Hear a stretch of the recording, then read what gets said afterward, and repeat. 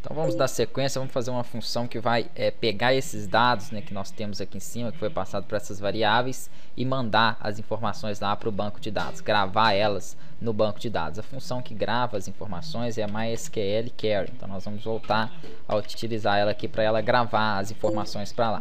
Que, que nós vamos passar aqui dentro de parâmetro para ela? As nossas variáveis aqui, né? qual banco de dados ela vai gravar essas informações, qual tabela, qual que é a senha do banco, então tudo aquilo ali eu tenho que informar aqui. Antes eu coloco um parâmetro que chama insert, inserir aí, into, vai inserir para mim em qual banco de dados, aí eu vou colocar o nome do banco, mas eu não preciso de pôr né, o nome dele aqui, por quê? Porque eu tenho uma variável que vai fazer isso, o nome da variável é base underline dados, então para isso que serve as variáveis. Aqui eu vou fazer o seguinte, eu vou concatenar ela com a tabela, qual que é a, a minha tabela, usuários, que está na minha variável tabela. O que mais que eu tenho que passar? Os valores. Eu coloco aqui o values e começo a passar aqui, ó, entre parênteses, os valores para ele, que é o que? O, o, o nome, né, o e-mail e assim por diante. Eu vou colocar aqui um parâmetro para que chama null. Deixa eu colocar ele aqui, ó, null. Deixar aqui embaixo. E vou é, separando sempre por vírgula passo aqui para minha, minha base aqui né, de dados, meus valores, as minhas variáveis, qual, quais variáveis eu tenho que passar? O nome, o que mais eu preciso de informar? Eu preciso informar o e-mail, o usuário e a senha. O que, que são isso aqui? Ó? Eu estou falando que ele não vai deixar nulo os campos em que eu tenho aqui no meu cadastro, que é o nome, o e-mail, o login e a senha. Tem que ser o mesmo nome aqui ó, que nós demos né, para as caixas ali. Na verdade, elas já estão recebendo aqui umas variáveis. Então, estou passando essas variáveis que eu dei aqui, né, que recebe o que foi capturado por aquelas caixas de texto. Então, é a minha variável nome, a minha variável sempre entre aspas simples, meio, que nós colocamos lá em cima, foi e-mail, né? não foi e-mail, e-mail. A minha variável o usuário e a minha variável senha. Deixa eu ver se é isso mesmo isso. Usuário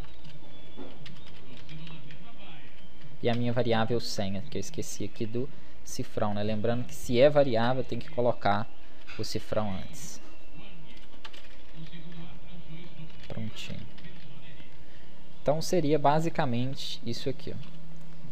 É, o que mais que ficou faltando? Né? Aqui eu tenho que fechar a aspas do parâmetro insert to e eu tenho que ligar isso aqui né, com, com, com, o meu, com o meu banco de dados. Para o meu banco de dados conectar, eu preciso de passar esses parâmetros que é o, a senha dele, o, o login. Né? E isso está onde? Está guardado dentro da variável link. Então, em vez de eu digitar aquilo tudo, eu simplesmente mando aqui ó, a minha variável link como parâmetro. Prontinho aqui. O que, que eu vou fazer nisso aqui? Né? Eu poderia fazer o seguinte se ele conectasse, ah, mandasse uma mensagem para o usuário, conectasse não, se ele realmente gravasse essas informações no banco de dados, dava uma mensagem para o usuário falando que é, a, inserção ali no banco foi executada com sucesso. Então vamos colocar uma condição para receber isso aqui. Ó. Vou colocar aqui if, vou abrir o meu parênteses e vou fechar ele aqui. Ó.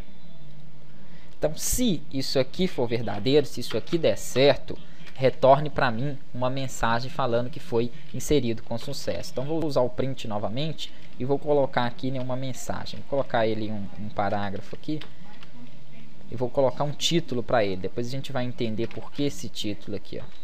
Class, né, vou, na verdade aqui seria uma, uma classe. Não vou, não vou, não vou colocar ela por enquanto não.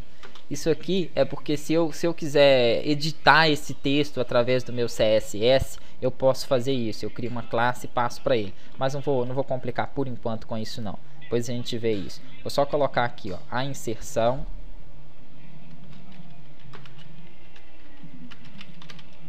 A inserção foi executada com sucesso.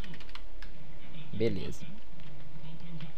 Então, se não tem, tem parênteses, se ele é, realmente executar, né, se acontecer aquilo ali em cima, se ele gravar as informações, ele me dá essa mensagem. E depois que ele me mostrar essa mensagem, ele tem que retornar para a minha tela principal, para o meu index. Então eu vou fazer o seguinte: print e vou pedir para ele é, dar um refresh. Eu vou colocar aqui uma tag, né, HTML, por isso aspas, HTTP, que é para onde ele vai me redirecionar. Vou usar o parâmetro active que nós usamos na outra. E aqui eu dou, peço para ele dar um refresh. Cuidado que não é aspas ali, né? Para colocar o refresh é a aspa simples, a aspa única. Em quanto tempo? Quero em 3 segundos. E aqui eu passo a minha URL.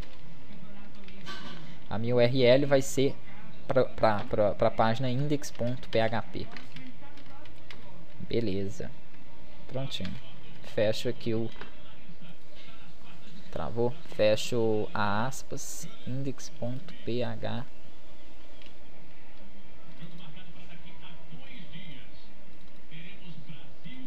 Eita.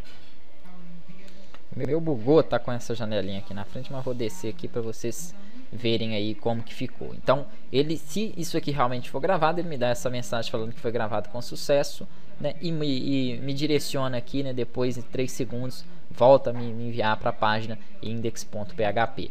Na próxima aula a gente faz a condição contrária que é o else.